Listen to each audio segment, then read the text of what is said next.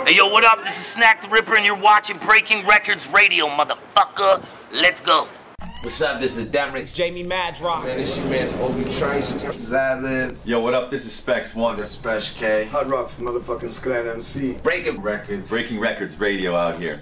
This is Breaking Wreckords Radio. Check them out, man. Breaking Wreckords Radio and the place to be. You know what it is. We got a special guest with us, Snak the Ripper, Yes, sir. friend of the show. Uh-huh. It's been a while since we've done an interview. You just put out Off the Rails last time. We actually did the last one in Hamilton. Yes, sir. New album off the rails. Spotify. Or sorry, um, you did From oh. the Dirt Oh yeah, time. from the dirt. Yeah, yeah, yeah. That was a couple years back. Yeah. Yep. Fuck yeah. But um, yeah, man, you killed that shit tonight. I thought it was interesting too, because last time we did the interview, actually, I had to cut a bunch of shit out of it because everybody was so twisted, myself included. But you're like, was- mad people stole fireworks from you and shit. Oh shit, they stole my fireworks. Yeah. I was I was pissed. yeah.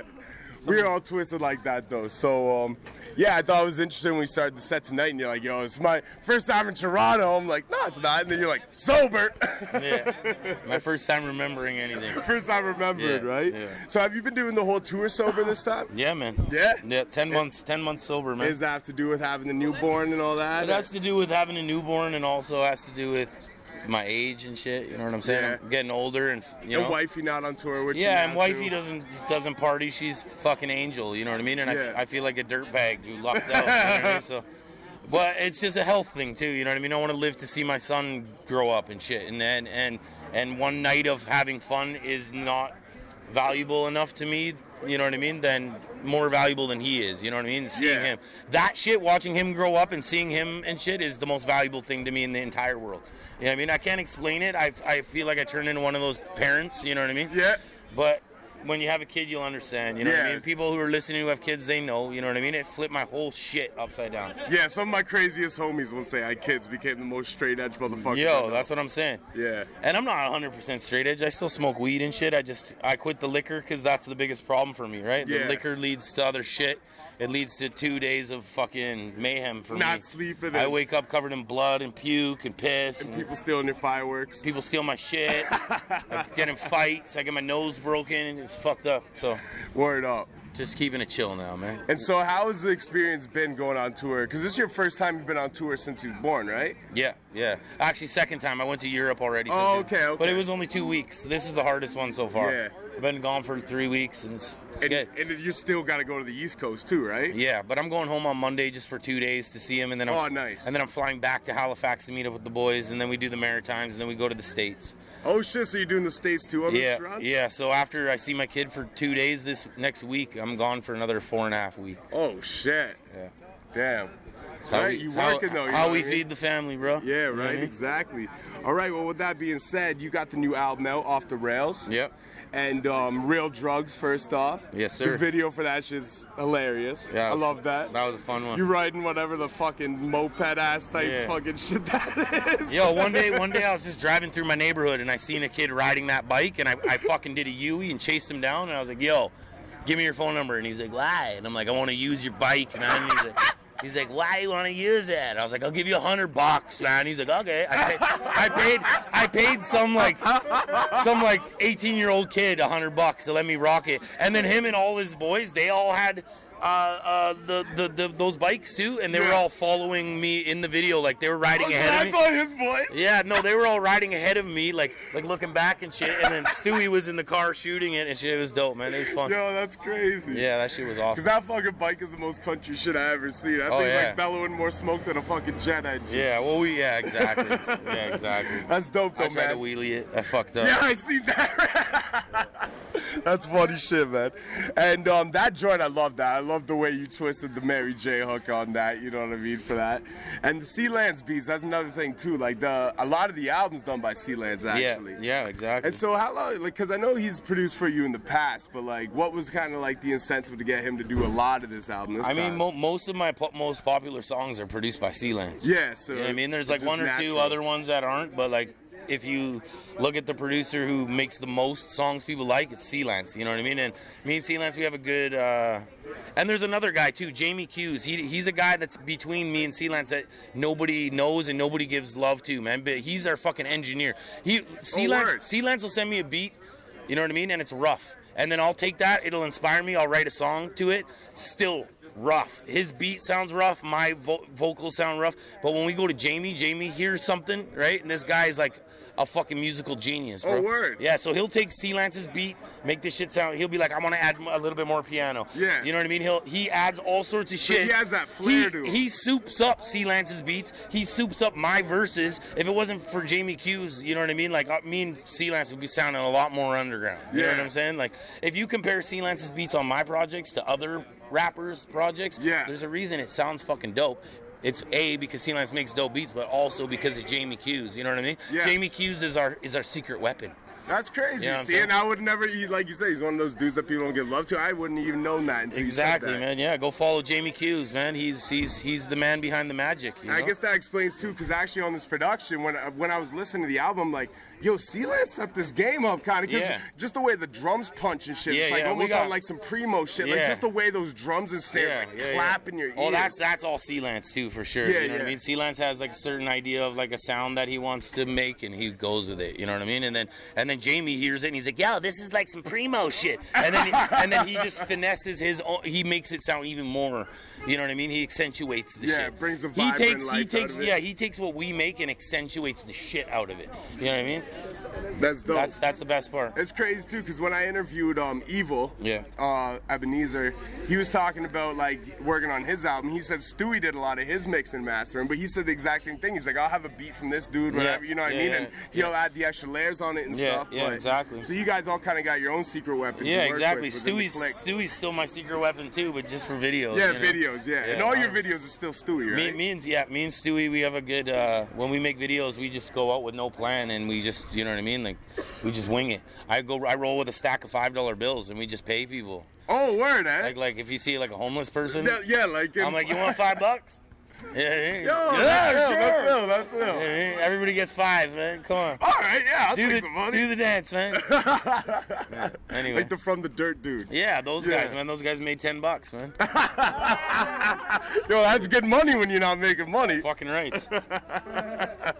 Now that guy's famous. No, anyways. everybody deserves to get paid, man. You do work, you get paid. bro. Yo, right? That's the way it goes. Two minutes of work, man. You got to yell at the camera. Five bucks. That's great. Hey. Buy a 40 Even if you don't use it, you can go buy 40 Yeah, ounce. exactly.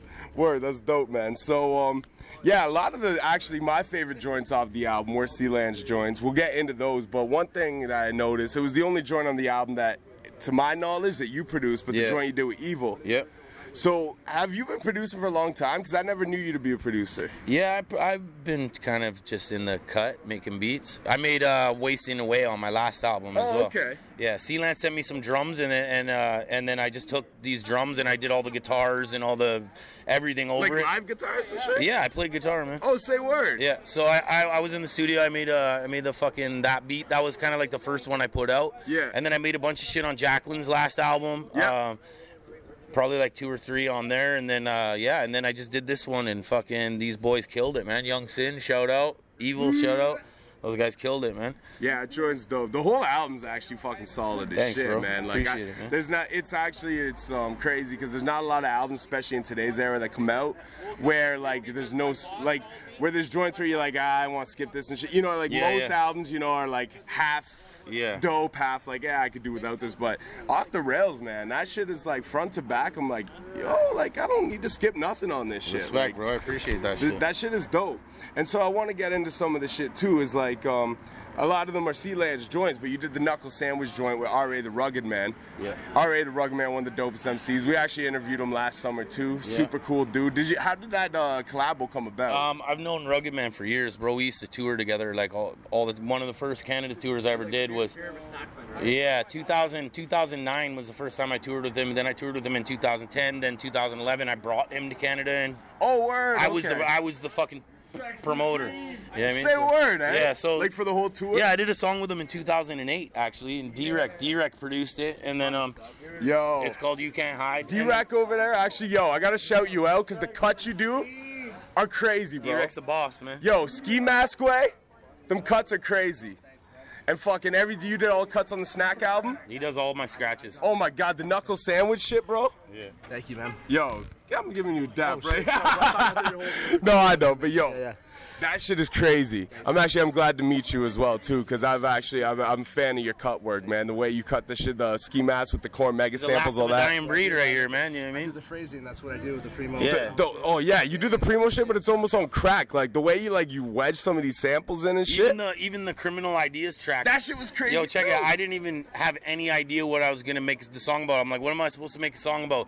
And then I was like, D-Rec, you pick. So then D-Rec went, found all these scratches. He did the hook, the cr- cr- criminal ideas shit. Oh, and then I was like, oh well, there's the song concept. You know what I mean? So he came up with the song concept for that one. Oh, and then me that. and me and Reef and Ill Bill, we all just, you know what I mean? We were feeling it. So we, off- went off that. yeah, exactly. Oh man, yo, Yeah. your your You're cut like- work is phenomenal. With every album I hear that comes out that has you doing cuts on it, it, it, it it's improving. Here's, you know what I mean? here's another fact: is that D-Rec is in the studio every single time I make a song, sitting there with Jamie Q's. These guys are like the, they're like my coaches. Yeah. You know what I mean? So when I'm rapping and shit, D-Rec will be like, Ab, could you not say it like this and say it more like this? And Oh, I'm like, shit. And I'm like, all right, I guess so. You know what I mean? so y'all are really like the behind the scenes Yeah, this producers. is, he's, a, he's he's executive producer of the album. If you like that album, he's the executive producer. That means he took all the beats and fucking used his own artistic ideas to make them shit sound iller. You know what I'm saying? yeah.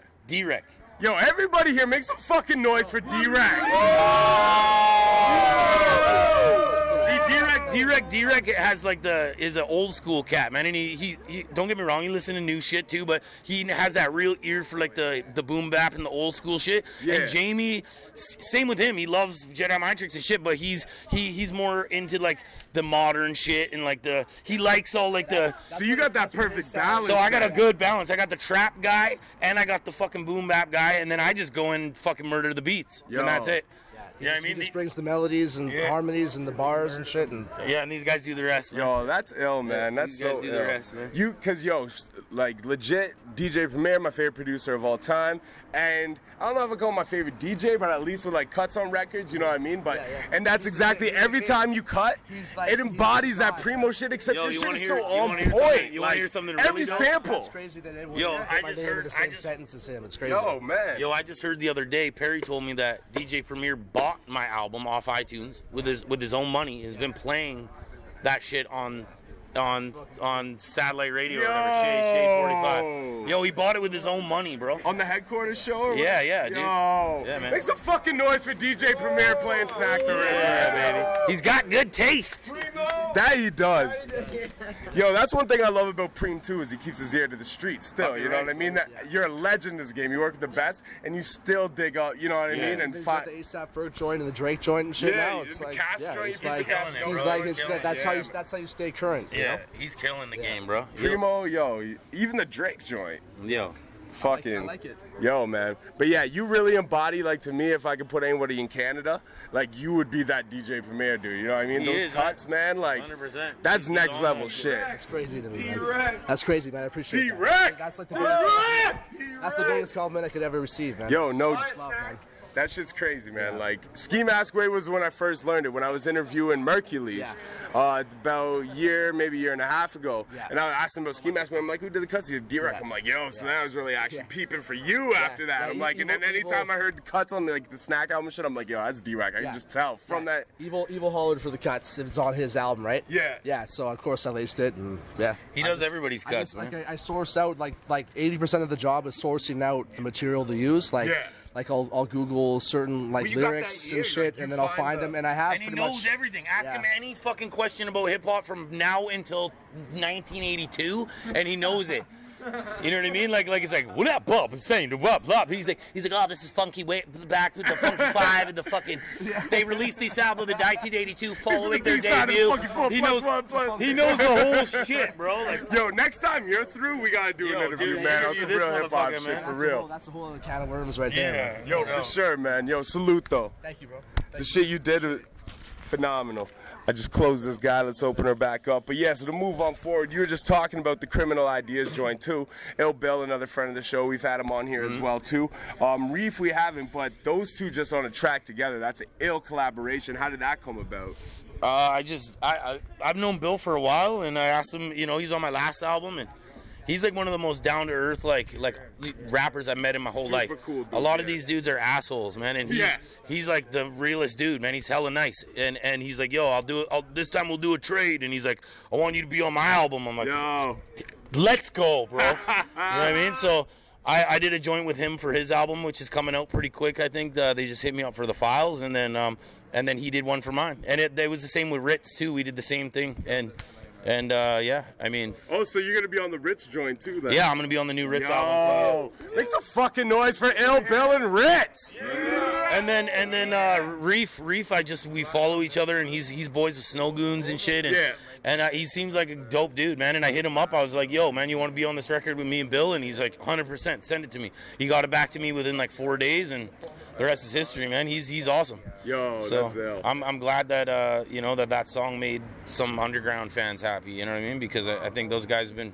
Have, I, I don't even know if they've been on a track together before. Maybe one or two. I actually, yeah, I don't know if they have. Ace probably know better than me. Bill and Reef, they've been on joint together before. Sure. Yeah, no, I don't think they have, as far as I'm aware.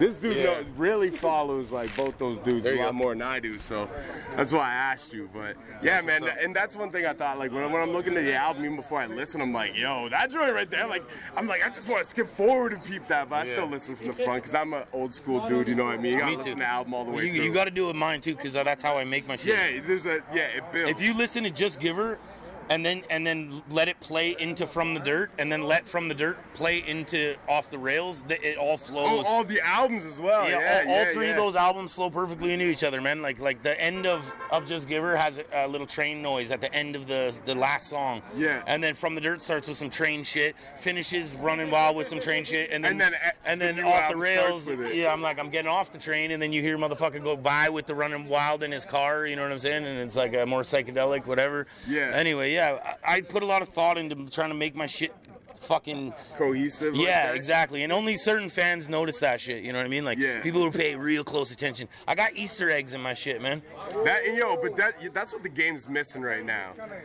For real, is like people who put together shit like that. Like the only dude I know that really puts shit together like that, that's really in the eye of like you know a lot of people is like Kendrick. Yeah, for sure. Everyone else is putting together bodies of work and shit, but to really connect Singles. it, you know, Yeah, yeah, yeah. So that's dope. I, I salute you for that. Thanks, bro. And another joint on there too. You had Gang, Ras Kass. Yeah, man. He's probably my favorite West Coast MC. So as He's soon as I dope, seen bro. that, I actually yeah. opened for them when they were in Toronto recently. Dope. Um, but yeah, so when I seen that on there, like, yo, that's crazy. So did J57 produce that one? Yeah, J57 did that one, and uh, yeah, that's dope, man. Like those guys that came to Canada, my my booking agent booked them, so. So did you did that joint with them then? Yeah, yeah, I did a joint with them for their album first, and then and then when they were in Vancouver, I was like, "Yo, I need you guys on my album," but I don't have time to push it together because I was going on tour. So they just made a song and sent it to me with a verse open. Oh, word. So that song I actually had. did have that's Jamo that's, that's the only beat I really didn't pick. They they they they did the song. I, I loved it and- and I just went home, did my verse real quick, and fucking boom. You know what I mean? Yo, that's ill, man. Yeah, it was dope. And those guys are good shit. Shout out Jamo Gang, man. Yeah, man. They and they put on a crazy show too. Yeah, they're crazy. But. Ras Kass- El, El Gant too, bro. He's yeah, insane, bro. Yeah, he is it. Yo, he's, insane. super dope, man. Yeah. People sleep on that too, man. Especially Ras Kass. Yeah. On which joint? It wasn't Reaper Lost Cause, it was Ras Kass. Oh, the one you're thinking of? Oh, yeah. yeah. yeah, No, Ras Kass is so dirty. But um, one thing I did want to ask you about too, because uh, earlier, like when we interviewed last time, we talked a little bit about the SDK roots. But like it started off as the graffiti click kind of thing, right? Yeah, for sure, yeah. But so like, how did it kind of build to what it's become? Well, that's that's pretty extensive, but uh, I mean, just over time, bro. You know what I mean? Like we all, everybody just does what they do. You know, it's like a, it's like a crew of motherfuckers who are hungry, man. That's all it is. And like we, we for many years we nurture each other and, and big each other up and and try to help each other. You know what I mean? Like even the writers and shit. You know what I mean? Like those guys are some of my best friends. You know what I mean? Still to this day, keep six, Snacks, all those dudes, Miles and shit. And those guys are still out there doing the graffiti and shit. And then you know what I mean? We got the business side of shit, and then we got the rap side of shit. You know what I'm saying? And and and, and it all together. I don't know. I feel like everybody. Everybody worked hard, man. That's what it was. We've been guys- working hard at this shit for so long that finally people are starting to notice. Yeah. You know what I mean? That's why we are where we are, is because we worked as a team, man. You know what I'm saying? And that, that's it. And I think it's so ill too, because you guys are the only collective I can think of, especially first off, like a movement like that, that represent all elements of hip hop. Yeah. Like you guys are like the Canadian Zulu nation. I guess so, saying? yeah, yeah. Like for real, like you guys got the fucking D. I don't know. Do you guys got b boys in the group? Uh, no. All right, so that's the only element. I mean, Evil kind of does a little A bit. little bit. no, but Yeah. for real, like you guys There got the was DJs, a couple guys in the graph. beginning. Yeah, we got DJs and all that shit. Yeah, for It's sure. crazy, man. And another thing I did want to ask about too, because we didn't touch on it in the last interview, but like, how, what's your Merkules' relationship? Like, where did that start off? Um, I met Merc when I was when he was 16. I think I was like 25 or some shit. Okay. And he was at one of my shows, and, and, and he would kept yelling, "New Jack of the Year, New Jack of the Year," and I was like, "Yo, I don't know the lyrics for that song." And he looked at me and he's like, "I know them." and then I said, "Well, if you know him so well, fucking come up here and do it." And he, he, he I gave him the mic and he rapped the fucking song impeccably, bro. And from that moment on, I started seeing him at my shows, and he was only 16, but he used to sneak into the clubs and shit, and he, he was always there. And then we just started bringing him with us on tour and shit like that. And you know what I mean? He was a young, he was a kid, bro. And and now you know what I mean? He's 26 years old. He's killing the game. You know what I'm saying? Like we haven't done any music together for That's a while. what I was gonna ask because about. because we're not we're trying to rush it. You know what I mean? I've only d- ever done one song with Caspian. You know what I mean? Yeah. I've got a handful of songs with Merc. You know what I mean? We- We're serving them. So you're kind of trying to like, you know, work with some bit. of the other dudes in Nah, the nah, it's not that. It's just that Merc, you know what I mean? Well, one thing is, me and Merc are totally cool, but Merc lives in a separate province in me. He's got his own life. Oh shit, I didn't even No, yeah, he lives in Alberta. I live in BC, bro. We don't oh, we don't hang out on a day to day basis. Okay. Like we we talk on the phone or FaceTime. Like that's it. Yeah, yeah. You know what I mean? And when I see him, I haven't seen Merc in like a year, bro. Oh, shit. Not face to face. Yeah. You know what I mean? He's so busy, bro. And like when I was making my album, he was on tour in the states, killing it down there. Yeah. You know what I mean? Now he's back and he's chilling, and I'm here on tour. It's like, Yeah. yo, him and me are like the guys out of the crew who are touring the hardest. So it's like. It's It's, hard it's hard for us to get to get together, bro. Yeah, you know what I especially mean? if you're in different provinces too. I never realized. Well, but we got our own studios and shit, but it's not even that. It's conflicting times, bro. He's on tour, I'm at home chilling. Yeah. You know what I mean? Then, then, then, it, you know what I mean? It's, it's bad timing. But I did speak with him the other day, and where we got some shit in the works, man. So You is there a chance of maybe a Snak and Merc album happening sometime? Oh, I can't say anything about ah, shit. that. I can't say nothing about That that. would be crazy though. That would be That crazy. would be crazy. Shout out to Merkules too Shout and Evo, both friends of the Yes, show. Yes sir. You know what I'm saying? But um, yeah, man, I appreciate your time. I don't know if there's anything else you want to touch on. Yeah, Anything you got coming up? Any other m- music videos? Off the Yeah, I got, I got, I got more videos coming out. You know what I mean? Go to my YouTube channel, Snak Fucking One. Subscribe that shit. Go find me on Spotify, iTunes, Apple Music, whatever. You know what I mean? Rip that shit. Give it away. I don't give a fuck. Just spread it like a wildfire, man. Snak the Ripper. Much love, much support. I love you guys. Keep listening. Shout out, brother. Thanks for the fucking Yo. time. Thank you, my G. Yes, sir. Until next time, Yes, sir. keep it real. Let's go. Snak. Breaking fucking records radio.